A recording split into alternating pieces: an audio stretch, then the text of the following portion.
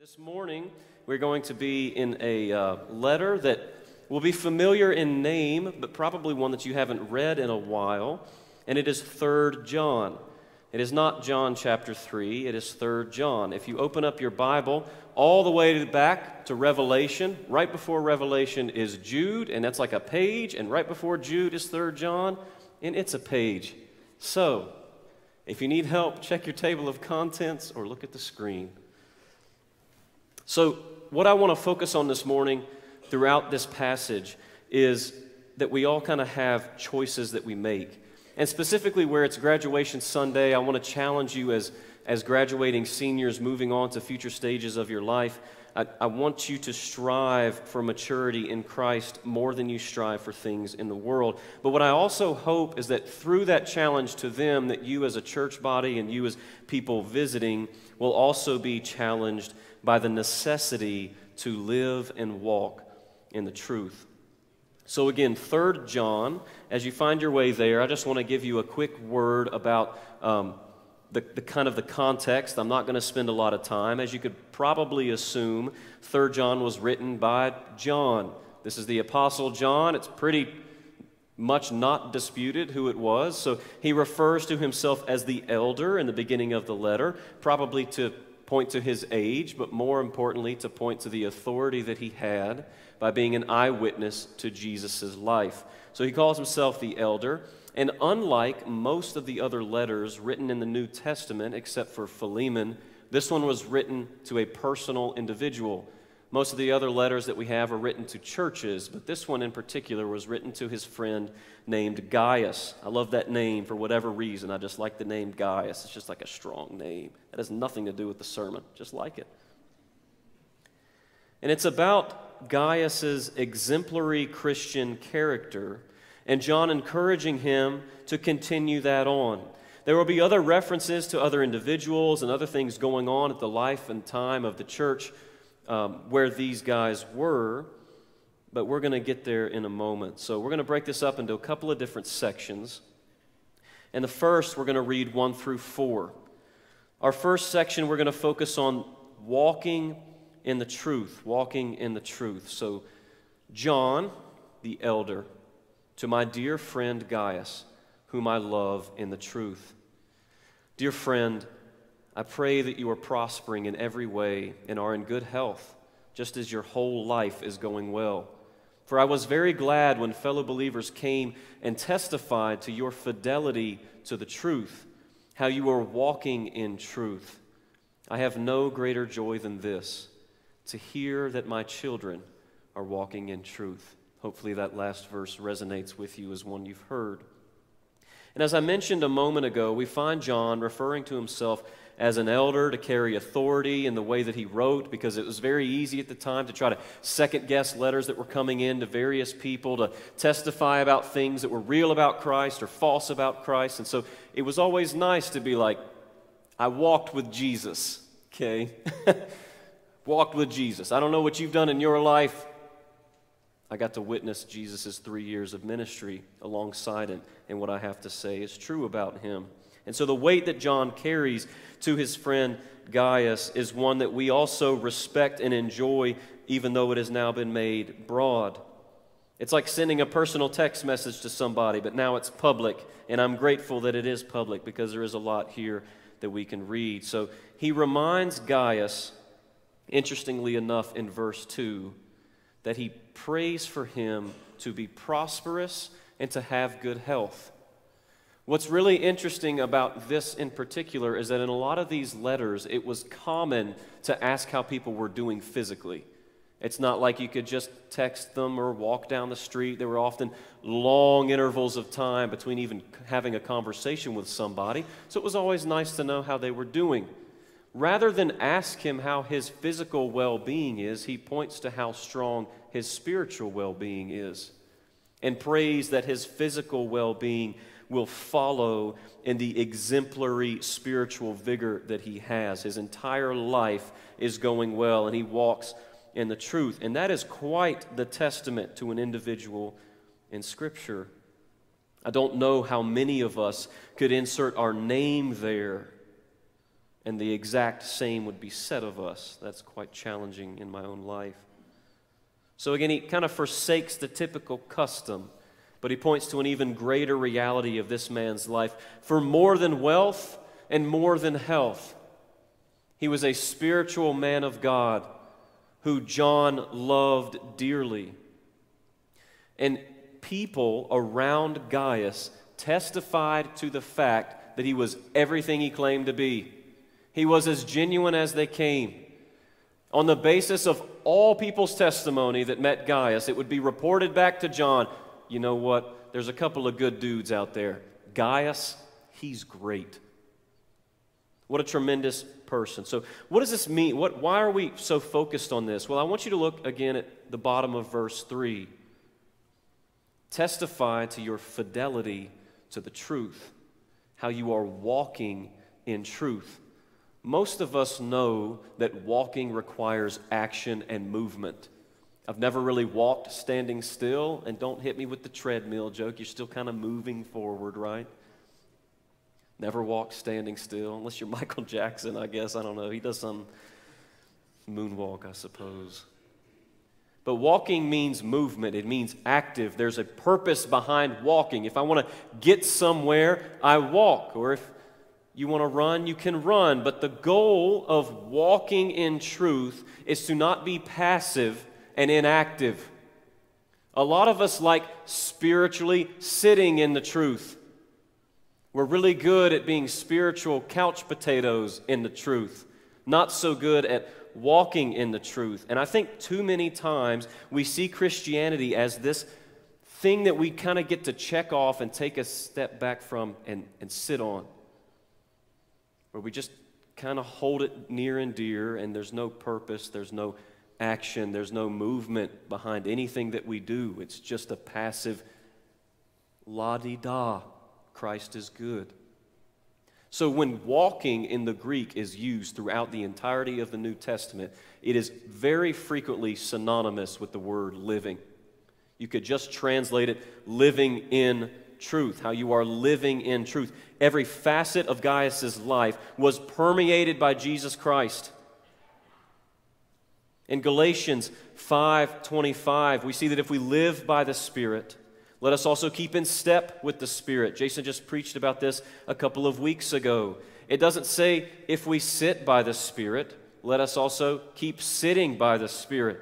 You guys get the point that I'm trying to make. Ephesians 5:15. Pay careful attention then to how you walk or how you live, not as unwise people, but as wise. There is great emphasis in the New Testament about walking in truth. Many of us may be past this point of sitting, and we're on the thing with walking, but we may not be walking in the right direction. We have to be walking in truth. So he actively, Gaius, lived his life actively for Christ and for the sake of people that were near him and for the sake of the church that he was in. And when others would come back to John, it was very clear what this man stood for and who he was. He was not a duplicitous individual where one friend would say, Well, he's this way at work, but you know, when you see him in church, he's a completely different way. Or when I see him on the ball field, it's like he's a different person. Gaius was Gaius through and through, and that was on the basis of everybody that came into contact with him and reported back to John. So, third John, in this letter, he shows us that genuine faith should be encouraged. Whoa should be encouraged. It's nice to hear you're doing a good job. Can I get an amen? Amen. Everybody wants to be told they're doing well. And just because you're doing really well at something doesn't mean that you want people to be silent about it. What we need to understand is that we are weak and we are frail. Just because Gaius was an upstanding individual, it didn't mean that he didn't have disappointment. Didn't mean that there wasn't resistance, as we're about to find out later in the letter. Even though he was doing great, John said, Keep it up, man. Everything about you is testifying to how much you love Christ. And I'm afraid in Christianity as a whole, What we do is we see people that are doing a really good job and we would rather seek to tear them down or to criticize the ways in which they're failing rather than to uplift the things that they're doing right. And we need to be challenged by that. We need to challenge ourselves how we, how we deal with young people, seniors going off to college, people who are teenagers, people who are younger, kids. We, we expect the world to be mature Christians, and we also expect children to be mature Christians. We hold them to standards that we barely hold ourselves to. And it's easy to point at those who are younger and say, you know, they're doing a pretty bad job of this. Instead, we need to encourage the things they do well. I don't know too many people that really love negative feedback constantly. If you are, all right, that's fine. I'll throw you insults your way if you want to come tell me about it, that's fine. I won't. So, what we see instead is in the end of verse 4, the end of this section, what we find to be true about John, not just Gaius, is that John has no greater joy than to hear that his children, his spiritual children, are walking in truth. The great joy of spiritual parenthood is knowing that your kids follow in your footsteps that they live in a way that represents Christ no matter where they are, no matter the circumstances. And what a joy it is for children by blood. There's no greater joy than a parent seeing your child come to fruition and grow in many ways. But spiritually, within the church, we should have the same joy for all those who are striving to pursue Jesus Christ. We must uplift one another. We must understand that we are all weak and struggle. And we also need to understand that we should make every endeavor to, do, to disciple people. Christ's command when he left the earth was disciple the nations. It's impossible to take joy in your spiritual children walking in the truth if discipleship is not the aim. That has to come first. There has to be something you poured into them to actually see come to fruition. And so we have to strive to this end. And it's just the pastoral heart resonating in John, but it should be the heart of all Christians, where we continually encourage, we uplift, we care, we diligently walk in the faith to show other people how to walk in the faith. When I helped Lucas walk for the first time. You know, you hold his hand as he goes along. Sometimes you kind of leave them to their own devices and let them wobble around and figure it out. But you lead them, you guide them. We do it with every physical aspect of a child's life. And when it comes in the church, how much hand holding are we doing to younger generations rather than finger pointing? And so we see two great examples of how we should encourage, how we should love, and the things that we should take joy in. And if this is not the thing that brings us joy, then I think we really need to reevaluate where our priorities are. Students that are, are going to college, the, the ones that we're honoring this morning, I would love nothing more. I really would. For you to come back and, and tell me about your, you know, your new college program, the new job you're going into, how well you're doing in certain areas, like how much fun you're having with your friends. And those things are truly great. I would much rather hear about how you're faithfully living for Jesus in spite of all of that. And if we as a church are more encouraging about everything but that, we're doing them a disservice. So, the, those kinds of pursuits, these, these aims, are the foundation for walking in truth. And now we see the result of that walking in truth. So, we've, we've laid the groundwork, and now John goes on to say more. Dear friend, you are acting faithfully in whatever you do for the brothers and sisters, especially when they are strangers. They have testified to your love before the church you will do well to send them on their journey in a manner worthy of God, since they set out for the sake of the name, accepting nothing from pagans. Therefore, we ought to support such people so that we can be co workers with the truth. So, just very briefly, at this time, there were, again, because it's not like everybody had Mustangs they could drive around, right? There would be itinerant missionaries or people that were set out to go plant churches or to go spread the gospel to other nations. And naturally, when they came through certain areas, it would be nice if their brothers and sisters in Christ would give them lodging or food, supplies. Journeys were much more difficult and they were very long and tedious. So Gaius was a person who was known for his hospitality to brothers and sisters, but I want you to note, especially when they are strangers, Gaius didn't just let his friends and family in the house when they came by, people that he was used to seeing, people that were on frequent trips back and forth, or, or whatever it may be. He would accept all those who were set out for the sake of the name, even though he didn't know them. Now, John probably was involved in some of the sending of these people, so it is likely that Gaius crossed paths with some of these guys.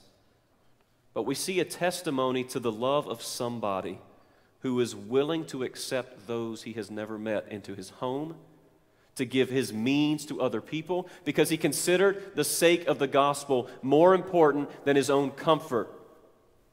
It is easy for us to be hospitable with friends and family. It is much more difficult to do so with people that we have never met because I have a wariness about me, about your intentions and who you are.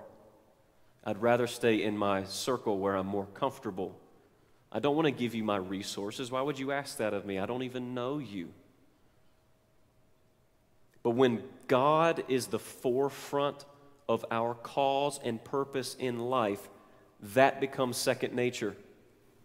And again, throughout churches, throughout, throughout every avenue of life, it's very easy to just cling to the people that you're most comfortable around and forget about those on the outside.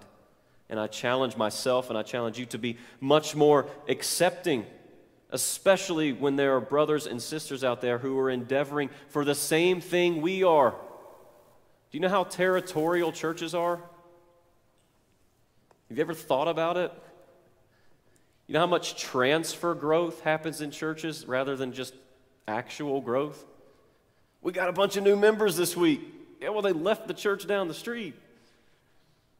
They're mine now. Leave them alone. It's funny, kind of. It's really just kind of tragic. And so when we see Scripture and we see these kinds of challenges and we, we think about our brothers and sisters around the world and around the country and in our own area where there's a million churches around us, and we want to be the, the biggest and the best by comparison, we need to not forget that there's a unity in the mission of the gospel. When we would rather tear down people for the things we think they do wrong rather than encourage them to share Jesus Christ, our perspective is off. And when we challenge our students to consider every avenue of their future except for missional involvement with Christ, we also need to change our perspective. Guys, I'm not asking you to go to seminary next week. That's not my goal. It's, I'm not asking you to pursue theological education, though I will support you in doing so. There are many ways which you can serve Christ.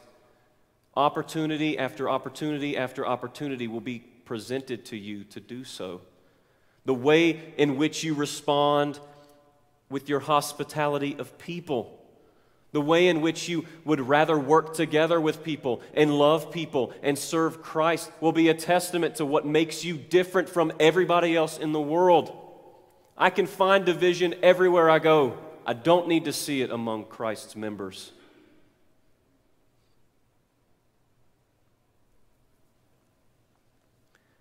I hope what you find today is that all of those things in life, like a, a great career, your friends, who you marry, that all of those things truly are secondary to a life committed to Christ. Not unimportant, just secondary. So, more to the heart of, of what I mean, um, I was thinking about this the other day, and it's kind of a poignant thought and maybe kind of depressing in some ways, at least that's how I think about it. But there's only so much time that we have with different individuals, right? Like some people are in our lives for a lifetime, other people are in our lives for a couple of years, and other people maybe a handful of months or, or weeks. And I was thinking about my trip to Disney World, and like how many thousands and thousands and thousands of people that I brush shoulders with that I will never ever see again throughout the duration of my life? It's an interesting thought that there's so many of us living our own lives and our own bubbles and our own kind of sphere. And some people are just in for a moment, and others for much longer. But it's how we deal with people in those moments that testifies to what's truly within us. If you're hospitable to those who are in your life for but a moment, imagine what the impact will be in their life. If Gaius, this man, had set on some missionaries on their way, and months later they're like, you know what, that guy back at that town, that was incredible, right? What an, what an impact that could make in people's lives. So, how intentional are we in those moments that are fleeting? Being unhospitable, ungracious, unloving toward people that you come into contact with is a reflection of the selfish pride that just pervades the rest of humanity. As Christians, we're called to a much higher standard of service. And since Christ died with his arms wide open, I think it's only fitting that our arms are wide open for all of those that we come into contact with. Gaius had done so that he gained a reputation for it. We also find that this takes a collaborative effort. We ought to support such people so that we can be co workers with the truth. Christianity is not a contest. We ought to love people because Christ loves people. It's challenging. There are many people you don't like. It's okay to admit. But that doesn't give us excuse to not be ungra- or to be ungracious toward them. So I want to focus on this next person and not waste too much of your time here. We have a choice before us, okay? We're presented with a choice. The rest of 3 John says, I wrote something to the church, but Diotrephes, who loves to have first place among them, does not receive our authority. This is why, if I come, I will remind him of the works he is doing, slandering us with malicious words. And he is not satisfied with that. He not only refuses to welcome fellow believers, but he even stops those who want to do so and expels them from the church. Dear friend, do not imitate what is evil, but what is good. The one who does good is of God, and the one who does evil has not seen God. Everyone speaks well of Demetrius, even the truth itself. And we also speak well of him, and you know that our testimony is true. I have many things to write to you, but I don't want to write to you with pen and ink. I hope to see you soon, and we will talk face to face. Peace to you. The friends send you greetings. Greet the friends by name. So here we find a man quite different from Gaius by the name of Diotrephes. Diotrephes was not only domineering in his own church, but he refused to be accommodating to all those who would pass by and refused them entrance into the body of worship. Even more than that, he condemned members of the church for being hospitable toward those people. What an incredible act of vanity, right? Matthew 23 says, Whoever exalts himself will be humbled, and whoever humbles himself will be exalted. You know, being the smartest person in the room does not mean that you are wise. Being the most likable person in the room does not make you loving. And just because you might be influential and have people following you does not mean that you are walking the right direction. There has to come a time in our life where we are reflecting on what it is that we are doing and who we are doing it for. What we find is that Gaius and Diotrephes were likely both a part of this same church. And that the reason for this letter was because he says, I wrote a letter to, I wrote something to the church, but Diotrephes, who loves to have first place among them, does not receive our authority. I wrote to you guys, but this guy's holding mail back from you. When I show up in person, I'm going to have to call him out for what it is that he's doing. There's some interesting dynamics going on in this church. So, what's the difference between Gaius and Diotrephes? How do we get in these two places as people? I feel like we know people that are like this, that we at least have models in our life that might exemplify some of the characteristics of either. But if both have started in the way, how have they split in so differing directions? And my proposal is that the primary difference between Gaius and Diotrephes was where their contentment was found. You see, Gaius pursued his walk with Christ, and Diotrephes pursued power as the result of affiliation with Christ. The latter loved to have preeminence in the church. He likely wanted power. He wanted to be the head honcho. He wanted to be the person that would make the decisions, that people would follow behind, that they would just do what he told them to do because he knew it all. He wanted to be first. And people that want to be first isolate other people that could come in and disrupt it, which is why he would cast everybody else out and fuss at those who would try to be accommodating. Likely Gaius, which is probably the reason for the letter in this recent struggle. There's much about Diotrephes' character that we can speculate, but unfortunately, this individual is really common in churches today across the world. People that desire a position rather than to desire service. They desire influence rather than being influential for the kingdom. There's a lot of ways where Christianity can be self serving if we want it to be. And I think there's a danger here in trying to write Diotrephes off as if he was an unbeliever, because there's nothing about the text that would explain that or state that directly. And what happens is when we mischaracterize people or write them off that way, what it's really easy to do is we remove ourselves from the situation, use that person as a scapegoat, and say, well, yeah, I'm doing a lot better than Diotrephes has been doing. But ultimately, the difference was between contentment. You see, Diotrephes, as John says, he is not satisfied with that. Not only will he stop mail, not only will he be the ultimate authority in the room, he's not content with that and must send people away. And not only does he individually send people away, he fusses at you to not accept people who are preaching Christ. He became self absorbed. He became a fool. He had a deeply inflated sense of self worth.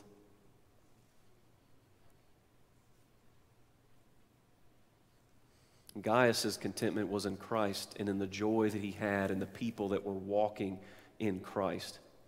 So it becomes only natural in our modern application today is to just simply ask ourselves are we more like Gaius or are we more like Diotrephes? But really, the ultimate heart of the matter is where your contentment lies.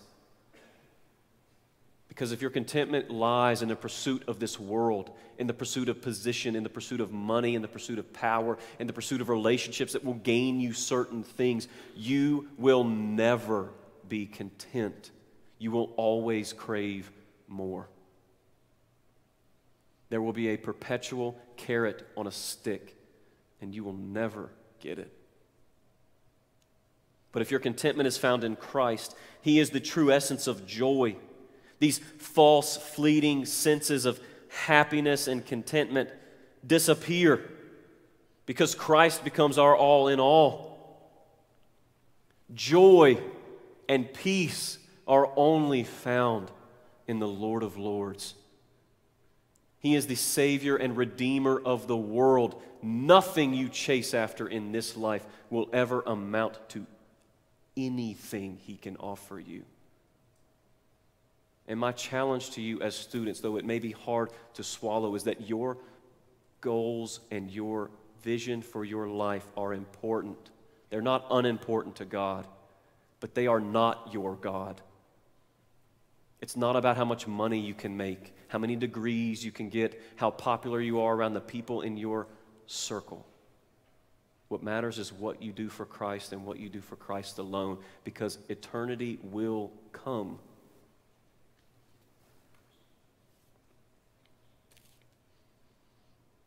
The last couple of points, and we will close. Happiness is driven by circumstances, but contentment is driven by Christ. I want you to hear that one more time, especially for the students in the room. Happiness is driven by circumstances, but contentment is driven by Christ. When you chase happiness, a certain alignment of circumstances always has to be perfect. And when one tiny hiccup goes wrong, it's just ruined. I can't tell you the number of days I wake up and have a vision of how the day is going to go, only to have it blown to smithereens. You know what kind of mood that puts me in? Not a great one. And I'm sure it does that to you too. Things happen. Tragic things happen. Things we can't foresee, people we don't get along with, circumstances that will crush your soul. And then there will be circumstances where things are just awesome. You got that promotion at work, and all your friends get along. You have no problems in your marriage. Even you and your in laws are best friends. Right? Like everything is great. But those are constant ebbs and flows, and they can change in a heartbeat. And if our contentment is rooted in the pursuit of self, like Diotrephes, will never truly be at peace. So, my challenge to you as a church is would these students in the room, not just the graduates, but the students, the young people, would these students in the room, would all of them testify about you and say that you walk in the truth? Could they say that about you? If they can't, what is it you need to repent of if you believe the answer is no? And students, unless you walk in the way of Christ, you will find yourself down a similar path as this man Diotrephes. You must guard closely against a facade of Christianity versus truly living it. Because it's easy to put on the facade and the covering and the lingo, but you don't become like Christ by being okay with the idea of Christ. You become like Christ by walking with Him. And in your life, as you're about to find out, it gets pro- increasingly less black and white. There's going to be a lot of gray. There's going to be a lot of decisions that you don't know is right or wrong, left, up, down. Who knows? It's very difficult. It's not just easy yes and no. And you are going to need godly wisdom to be able to discern those kinds of decisions because decision, bad decision after bad decision after bad decision will lead you on a path of self righteousness, self worth. And sin has so tainted our world that there's going to be distractions, there's going to be opposition, and there's going to be heartache in all of the things that are good and bad in between. And if you are not rooted in Christ, you will be, you will be tossed to and fro like a leaf in the wind. And through it all, I implore you to walk in truth. Guys, Christ is not an accolade that we can pin on our wall. He's not a token that we get to just kind of hang on to on our keychain. He is God, He is Lord. He has set you free from all sin. He has set you free to be free and live freely in Him and to help others grow in the same. How could you find a better joy or peace than that? You cannot. Shift your focus to Him today. Please.